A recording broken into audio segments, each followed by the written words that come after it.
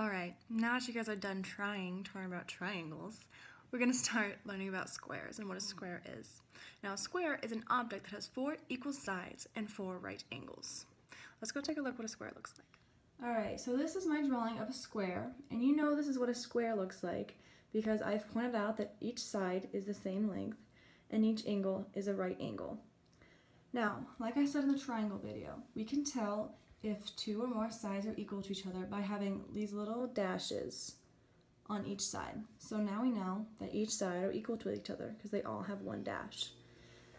And what we have not talked about yet is how to tell if an angle is a right angle.